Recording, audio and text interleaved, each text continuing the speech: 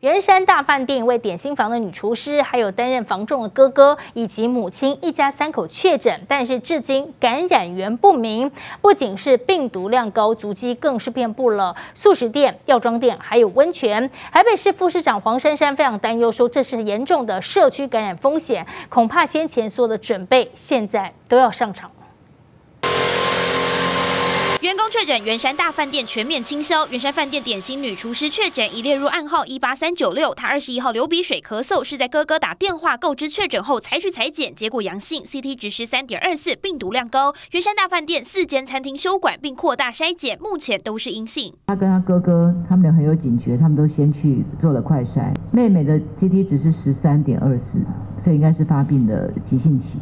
不仅女厨师，她担任房仲的哥哥及母亲一家三口都染疫，推估是哥哥最早发病，但这一起群聚感染源不明。哥哥十八号发烧，二十二号裁剪确诊，CT 值十九点六，病毒量一样很高。曾到北市南港区信安诊所看病，当天确诊，诊所休诊两天。且哥哥曾和朋友新北市新增个案一八三九七，四个人十七号相约聚餐，朋友在十八号也发病，喉咙痛、流鼻水，被房仲告知确诊后裁剪阳性，CT 值十九点四，感染源是否可能是这名朋友？现在有可能的关联，但是还不是很确定，所以我们还是把它当成不明来源先处理。北市也公布一家三口足迹，曾去过士林区两间麦当劳、全联、康士美知名餐厅和加油站，也去泡过汤。哥哥还去了南港区诊所和药局。由于三人病毒量高，可传染其足迹又多，北市副市长黄珊珊表示，这是很严重的社区感染风险。今天起，所有准备都要上场了。他任职防重业，让他服务范围是，还是要更好、更确切的一个足迹了哈。那到目前。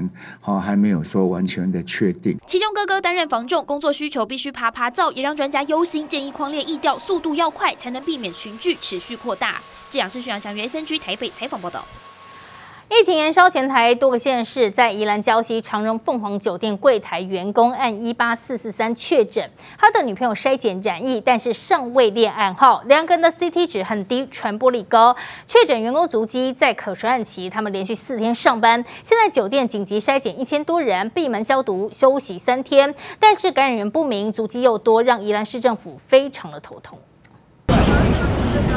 民众排排站，等着要筛检本土疫情延烧到宜兰长荣凤凰酒店出现确诊者，紧急筛检员工约五百人，住客约五百人。截至下午两点半，四百五十九人快筛结果是阴性，酒店也全面消毒闭馆三天。确诊者不是旅客，而是长荣凤凰的工作人员，按一八四四三负责柜台接待工作，打过两剂 AD，二十二号出现发烧、咳嗽等症状，结果裁剪就医确诊，感染源不明。令人忧心的是，在可传染其实都有上班，而且女友发烧确诊，CT 值十四，尚未列暗号，但也在饭店打工，病毒传播力很高。相关的疫调正在进行。超市进行大消毒，因为按一八四四三足迹曝光，十八号搭乘格马兰客运往返台北郊西，也到过喜互惠超市，还有便利商店。这段期间住在这里的游客也担心温泉的蒸汽会不会助长气溶胶病毒的传播。它这个水汽其实也是类似于我们的这种飞沫。病毒存在在这种环境里面的话，它的这个存活时间也相对来说也会比较长，传播的这个空间也会比较大一点。另外一名确诊者按一八三四八十八号游到宜兰旅游，去了清水地的公园、罗东夜市等热门观光景点。随着足迹曝光，有重叠的居民可要特别注意身体状况，有症状尽早就医，避免传播链越扩越大。记者林义生、李英伟、杨宗彦宜兰报道。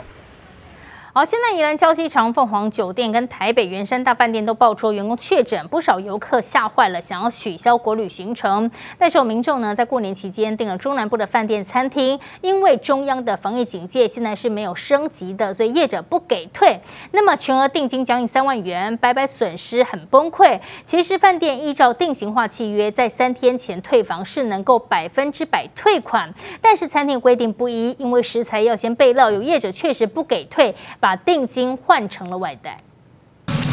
全压在油锅里炸的油亮亮，年菜必备红烧蹄膀，餐厅早就备好料，就为了春节上桌。但碰上疫情，圆山大饭店、礁溪长荣凤凰都惊爆确诊，酿出全台恐慌。有消费者抱怨，在中南部订桌订房，业者却不给退。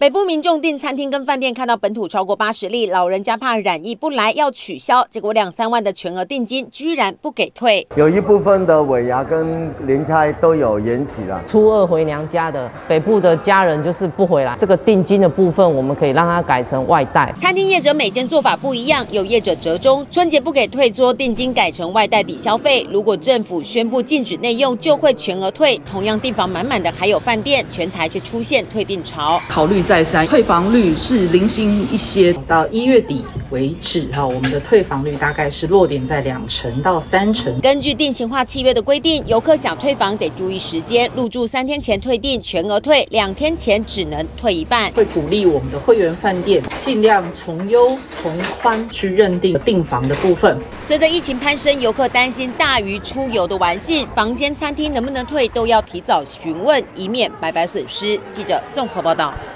好，大家现在呢，来我们来看一下，是不是马上就要过年，但是你也已经取消了？可能呢，原本有出游计划，你已经取消了吗？在聊天室帮我加一。现在春节倒数，各大饭店、餐厅除夕围炉宴其实早就被订光。那么最近南北疫情延烧，但台中相对比较稳定。业者说，大部分还在观望，只有零星的退订，但是候补名单真的很多，所以只要一有人退，马上就递补。在台中的部分倒是没有受到影响。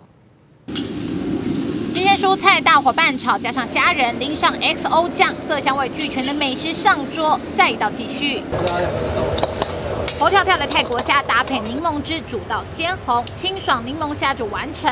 餐厅饭店业者近期忙翻天，主厨们更有心理准备，要一路拼到除夕。目前的订桌率的话是七成以上，那目前来说的话都没有接受到有退订的一个讯息。台中饭店各大餐厅除夕围炉宴热门的早被订满爆棚，其他也有七八成退订的是极少数，而且因为候补客太多，一退订就有人马上递补，还是维持内用这样子。台中这个大型的婚宴会馆，除夕的订桌率大约有一百二十桌，说要取消改外带的不到一成，退订大概百分之五到十左右，因为他本来就要吃了，那再退他要去自己去菜市场买。